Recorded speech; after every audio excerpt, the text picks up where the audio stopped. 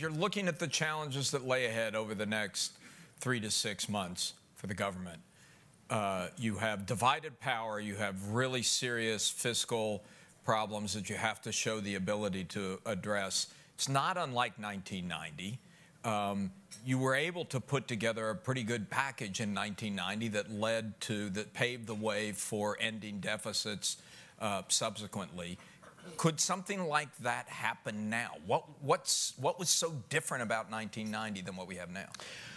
Well, I think it would be more difficult to do it, Alan. Uh, I came to the Senate in January of 1977. And uh, when I came there, you had Southern Democrats and uh, moderate Republicans and a lot of collegiality.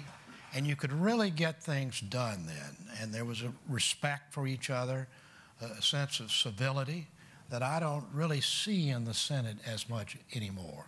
But the difference then from now is you had, I think, an, uh, an agreement among all the parties that we had a problem and we had to do whatever was necessary, no matter how politically unpopular, to get the deal done. Because and, and, and, the costs were pretty severe. I mean, President well, Bush didn't get a second term. Uh, uh, poor Dick Darman was chased out of the Republican and I lost Party my and election, never allowed and back. I lost my next election. Uh, it, uh, Chris, if, uh, trying to channel President Obama, he's just uh, been reelected. He's got a mandate. And uh, there were a lot of uh, issues that were not very clear in the campaign, but the one about raising revenue was clear. Um, it's not a, a, full program. Really, the goal should have been, and, and has to be now, to adopt a, a, a bipartisan long term debt reduction program for America. So I, I make the statement that the president made, sort of setting down a marker and, and leaving a little room, which he did. And uh, now I'd go to work in a very personal way. And I, I will tell you uh, respectfully that um, I think the president, um, in a, I'll put it this way, he, he reached a conclusion somewhere in his first two years that the Republicans were not going to cooperate with him, the Republicans in Congress. And he, and I understand why, but, but, but I think he, he's, he stopped trying too soon. And um, uh, I think this time, with this mandate, he's got to channel Lyndon Johnson. I mean, he, he, can't, uh, he, he can't give up, and he's got to also.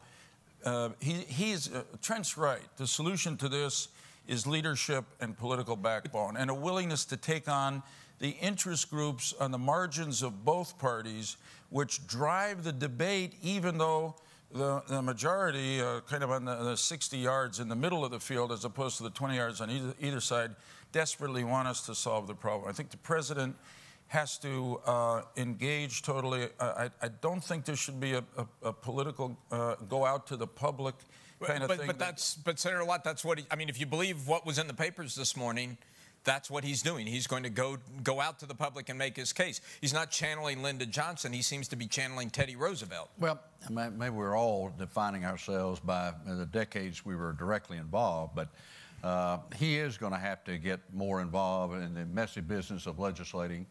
He's going to have to provide some leadership. When Bill Clinton was president, Newt Gingrich was speaker, and I was the leader in the Senate, uh, we got things done. Welfare reform, uh, safe drinking water, portability of insurance, uh, balanced budgets, and a surplus. Right. And Clinton was directly involved. I can remember getting calls from him at weird hours of the night. I always wondered what he was doing up. I, yeah, and, uh, but, but, I mean, he would know the section of a bill and how much money was in it. And I remember there was one like the S chip, the children's health care thing, and he said, Can you add I don't know, let's just say 10 million more, which is chicken feed, you know. But we, we made some concessions to him, and he made concessions to us, and, and we got the job done. But uh, I guess now I'm going to begin to act a little bit like a Republican. First of all, uh, while the Democrats won, I wouldn't call this a mandate. If there's a mandate, it is for the president and the Congress to start working together. Uh, he doesn't talk to the members of Congress. Democrats will tell you that. Uh, he, he just he hasn't been engaged.